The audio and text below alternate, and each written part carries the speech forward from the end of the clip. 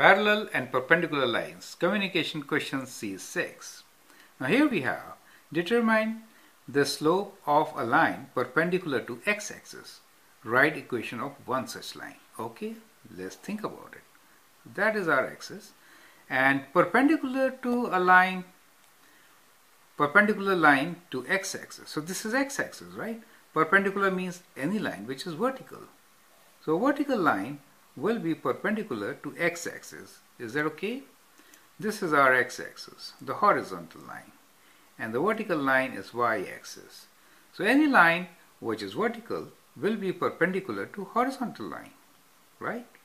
So what could be its equation? Can you tell me equation of x-axis? At x-axis, every point y value is 0. So the equation of x-axis is y equals to 0. So well, equation of vertical line is what? Let's say this line goes through a point 5. Then at every point x value is 5 and therefore the equation of this line is x equals to 5. Similarly, this line on that side could be x equals to minus 7, right?